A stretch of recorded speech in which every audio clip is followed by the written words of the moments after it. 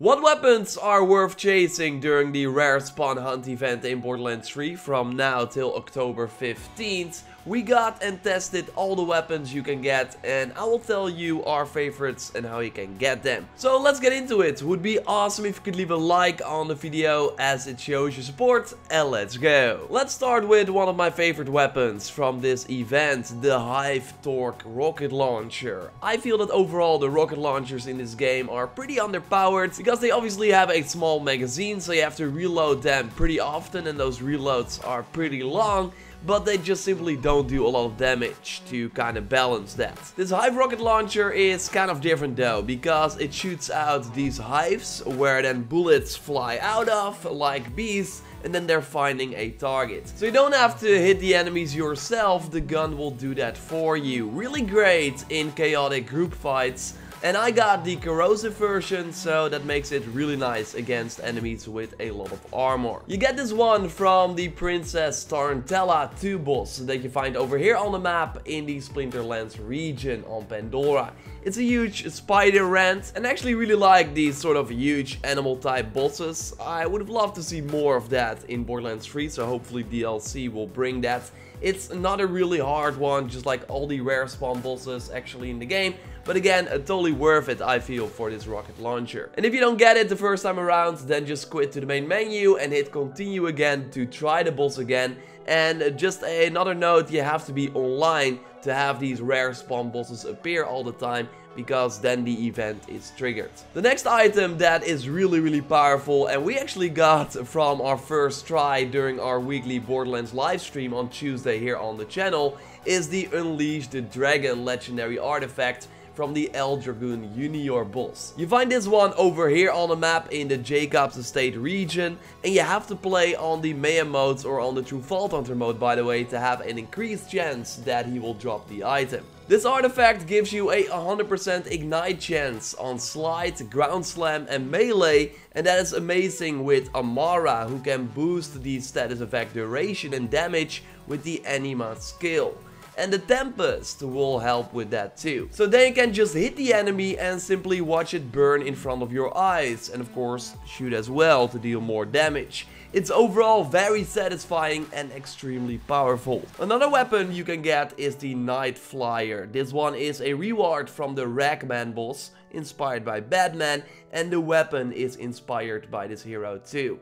It namely doesn't kill enemies when you are about to deal the final blow. Then it will just say immune. You can then of course still punch them to take them out. But yeah, Batman's I don't kill people rule applies to this gun. Another cool part about this gun is, and I saw this thanks to Razor's Plex on Reddit, that while you normally have a burst fire option, it goes full automatic when you are in mid-air. So when you jump and hold the trigger, or when you jump down and then just shoot the gun. So it's another really nice feature, although the gun itself is not that great. Like, it's a funny thing that it does not kill people, but it's just not really helpful. Would have made sense if because of this handicap you deal a lot of damage instead, but that is sadly not really the case. An item that is kind of nice though is the It's Piss grenade, especially when using it while playing with other people against high health targets. Because after you hit one of those grenades against an enemy, they take 20% increased damage for 6 seconds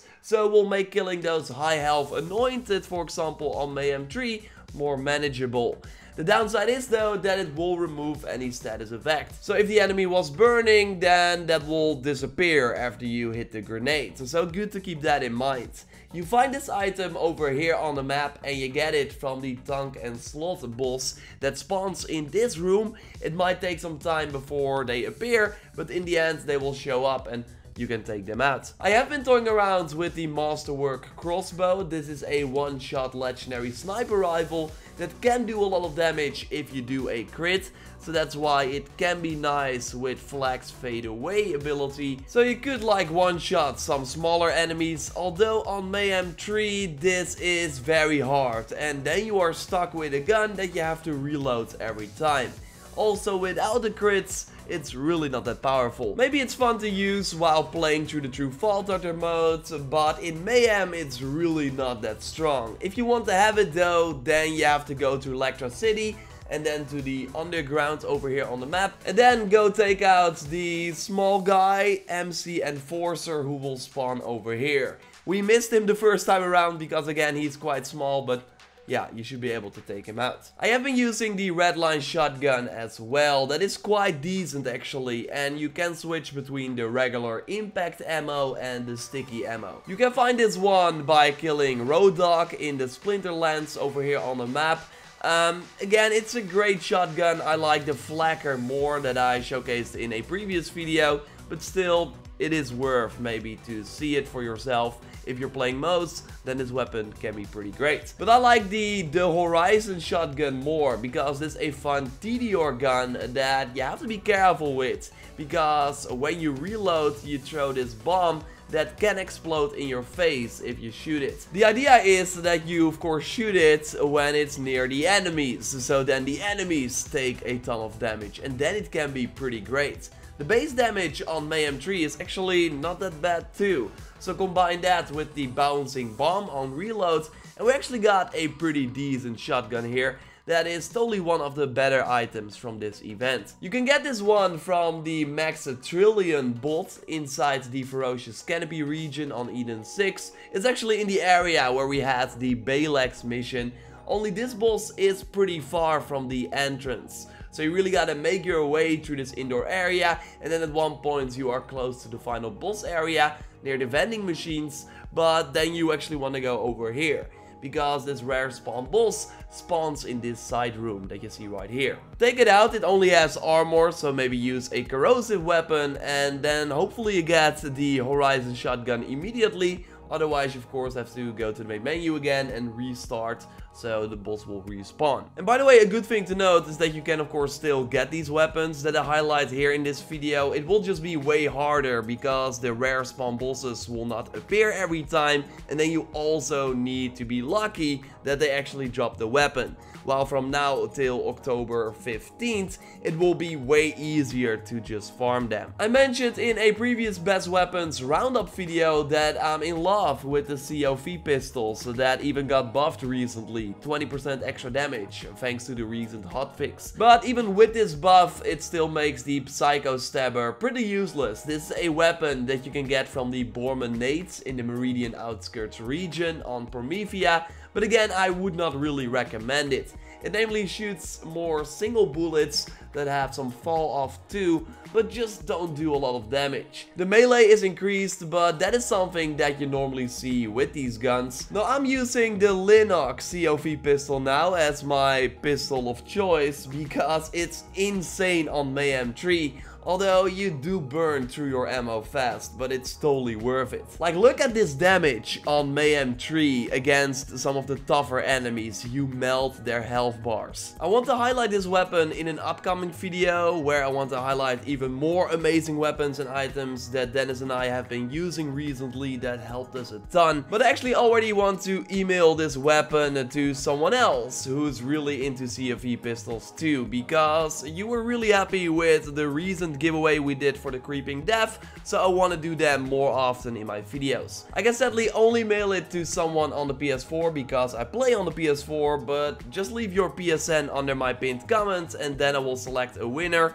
Would of course be nice if you are a subscriber of the channel before you leave your PSN name. Zombie Blood won the Creeping Death in my previous giveaway. What I did is just went to a random number generator, inserted the maximum amount of comments that were made under the pinned comment comment and then Zombie Blood's comment got out. I sent the weapon to him and again if you want to win this awesome COV pistol then you can participate in a new one by leaving your PSN under the pinned comment.